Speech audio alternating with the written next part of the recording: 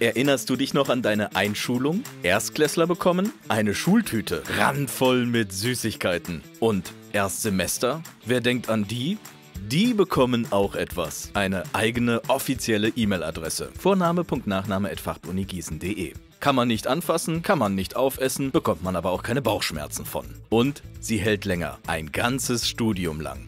Aber halt, Finn hat doch schon partytyp24 at blabla.de und Anna hat doch schon anypenny at irgendwas.com. Wofür brauchen die dann noch eine E-Mail-Adresse? Ganz einfach. Für alles Offizielle an der JLU. Wenn ihr zum Beispiel einem Dozenten schreibt, der weiß sonst vielleicht gar nicht, wer ihr seid. Äh, bevor wir loslegen, ich habe gestern noch eine E-Mail bekommen. Äh, Ernie Schnuckel 97, äh, könnten Sie mal kurz... Ihr könnt über diese Adresse zum Beispiel auch kostenlos Software zur Literaturverwaltung lizenzieren. Und hierhin bekommt ihr wichtige E-Mails der Universitätsbibliothek, des Studierendensekretariats, der Fachbereiche oder die Bestätigung für eure Prüfungsanmeldungen. Schaut also regelmäßig rein, sonst verpasst ihr vielleicht, dass ihr euch aus Versehen abgemeldet habt. Mit ein bisschen Pech kann so etwas das ganze Studium umschmeißen. Abrufen könnt ihr die Uni-E-Mails über Webmail oder über euer normales E-Mail-Programm, parallel zu eurem privaten Konto. Denn wofür ist deine Uni-Adresse nicht? Na, für alles Private. Denn mit der Exmatrikulation erlischt auch diese Adresse. Eure Freunde könnt ihr dann von einem Tag auf den anderen nicht mehr erreichen. Also offizielle Dinge, JLU-Adresse, private Dinge,